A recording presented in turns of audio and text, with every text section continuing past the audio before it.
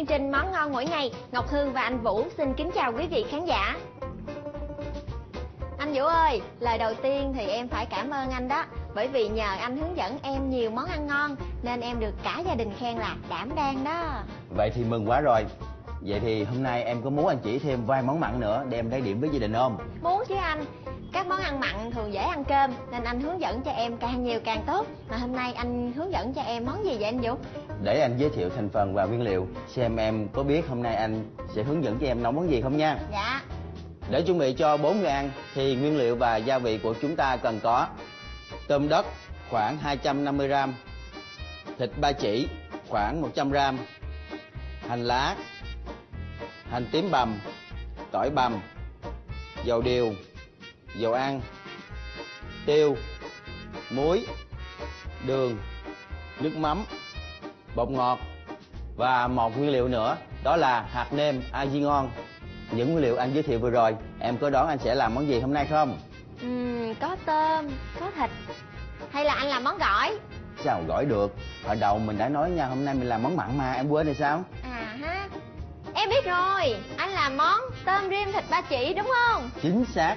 Nào bây giờ chúng ta cùng nhau chế biến món tôm rim thịt ba chỉ. Đây là tôm đất đã làm sạch. Tôm đất chúng ta mua về nhớ cắt bỏ khoảng 1 phần ba đầu và cắt bỏ chân.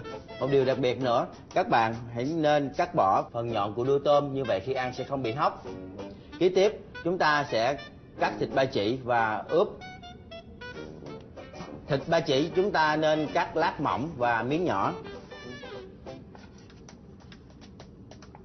Hành lá, chúng ta lấy đầu hành, đập dập. Sau đó băm nhuyễn. Các bạn lưu ý, khi chúng ta ướp thịt thì chúng ta nên sử dụng phần đầu hành. Thì như vậy, ướp thịt sẽ thơm hơn. Kế tiếp, chúng ta sẽ ướp thịt với một ít hạt nêm. Một chút muối và một chút tiêu sau đó chúng ta trộn đều lên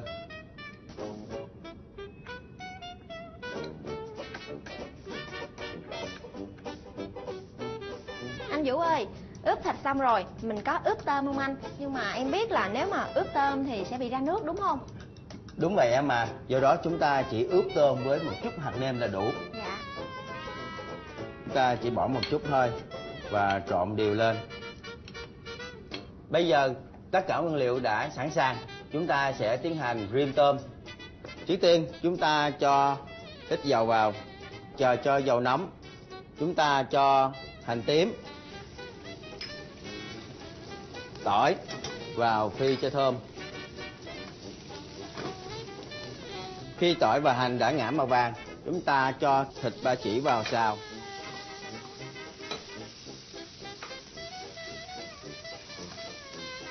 Khi thịt đã sang, chúng ta cho tôm vào. Các bạn lưu ý, khi cho tôm vào xào, chúng ta hãy để lửa to. Thì như vậy, khi rim tôm mới chuyển màu đỏ đẹp. Sau khi tôm và thịt đã săn chúng ta cho một ít bột ngọt, một muỗng đường và một chút nước mắm.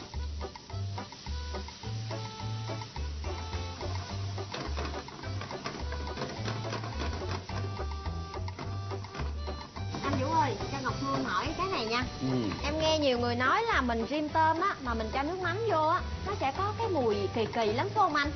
vậy thì em cho nước mắm ờ, vô lúc nào Thì lúc vừa bỏ tôm vô thì em cho liền luôn. à như vậy thì đúng rồi nãy em không thấy anh khi tôm và thịt đã săn anh mới cho nước mắm vào sao À, thì ra là vậy. các bạn lưu ý khi rim tôm và thịt thì chúng ta hãy cho nước mắm vào lúc tôm và thịt đã được xào săn thì như vậy món rim của chúng ta sẽ thơm hơn nhiều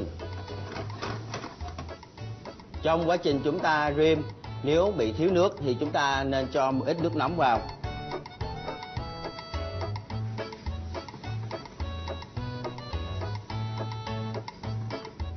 Và để tạo màu sắc cho món rim của chúng ta được bắt bắt hơn, thì tôi thường hay cho một ít dầu điều vào.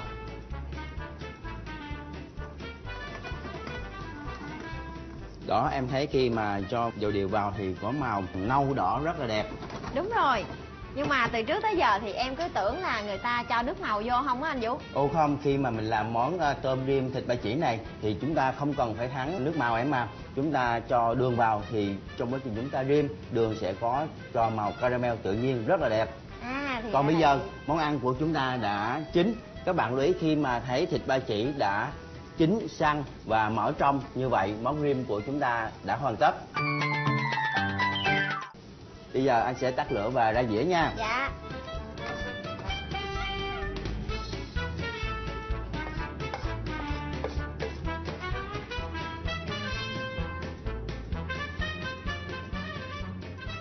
Và sau cùng để cho tăng thêm hương vị của món ăn thì tôi sẽ cho một ít tiêu trên mặt. Thế là đã xong. Em thấy như thế nào? em thấy em đói bụng quá à. Bây giờ có cơm trắng ở đây thì thật là ngon đó cho em ăn thử miếng nha anh vũ Sẵn sàng thôi. Mời em. em thử miếng thịt nè miếng tôm luôn nha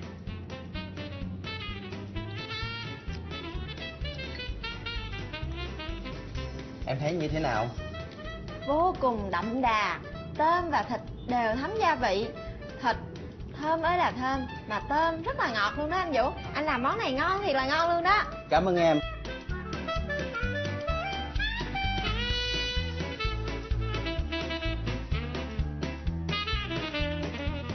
Chúc quý vị sẽ chế biến thành công món tôm rim thịt ba chỉ. Chúng ta sẽ gặp lại nhau vào chương trình lần sau với món sườn ra mặn được phát sóng vào lúc 11 giờ 50 trên kênh HTV7. Xin chào tạm biệt.